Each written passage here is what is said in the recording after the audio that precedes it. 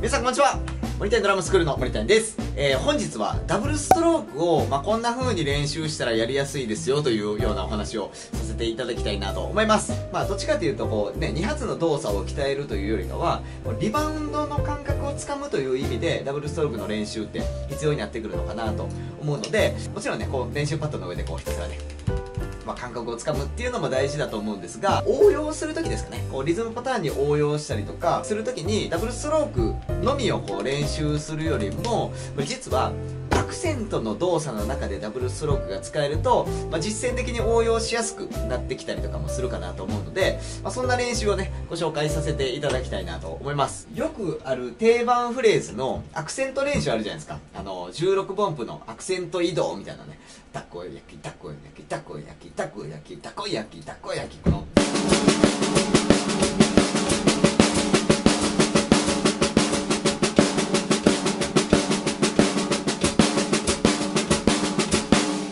ていうこういう動作。今のこのアクセントの動作っていうのは基本ストロークが含まれてまして、えー、まあ、ダウンストロークとかアップストロークとかタップストローク、まあ、今回今のは使ってないですけどフルストロークとかね、まあ、この基本の4つのストロークがあるんですがこの基本の4つのストロークの中でダブルストロークが操れると移動しながらダブルストロークを扱えたりとかタカタカの動きの中でダブルストロークが扱えたりするのでそういった練習をやってみます。今のこのアクセント動作、まあ、一番最初アクセントをするたこ焼きたこ焼きのやつをやってみるとこの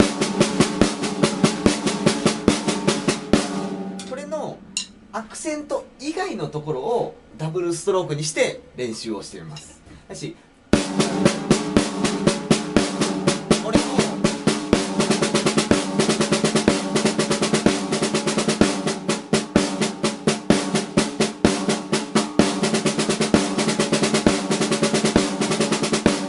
という感じでこの動作のままダブルストロークをする。上がりながらダブルストロークを叩くっていうのは大事ですかね。こう。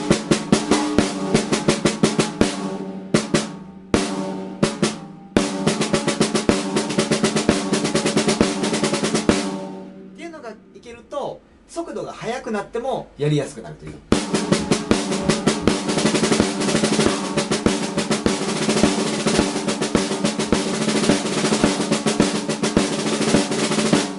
ていうことになるのでこの感覚でぜひねこうダブルストロ練習をしてもらうとすごくねこう動きがスムーズにやりやすくなるかなと思います。でさっきのアクセント移動にこのダブルストロークを応用してみると。一発目はタッタッタッタッタッタッタッタにタンタカタカタカタンタカタカ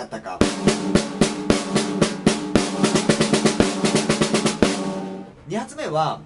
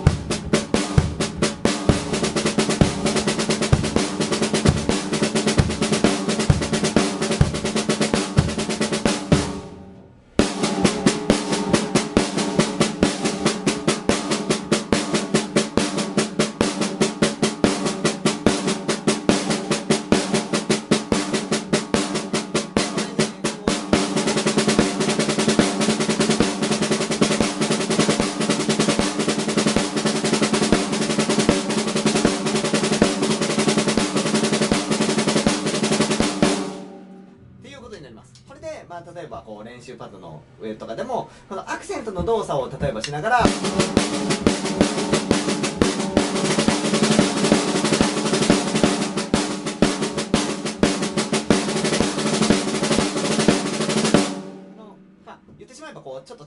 感じでダブルストロークが使えると、まあ、実際のねこう応用でやりやすくなると思います。である程度こうスネアで慣れてきたら、えーアクセントの位置を例えばタムとかに移動できるとこう移動しながらのダブルスロークがねこう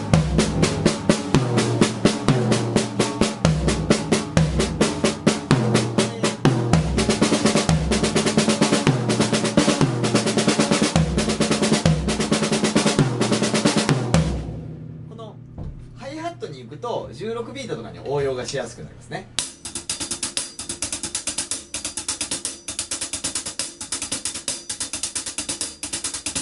これがいけたらあの16ビートで例えばこうの中でこう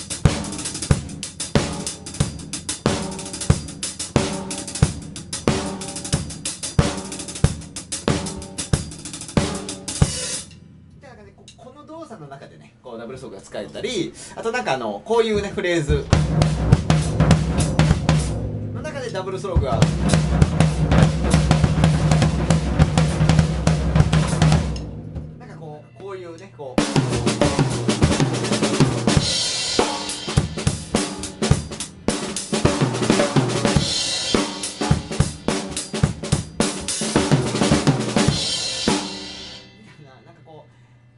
の動作のその移動の中で、まあ、ついでにダブルを加えられたりとか。なんかそういうことにもなるんでこのぜひねこのアクセントの動作の中でダブルストロークを使っていただけるといい感じになってくるかなと思います。はいそんな感じで本日もありがとうございました。さよなら。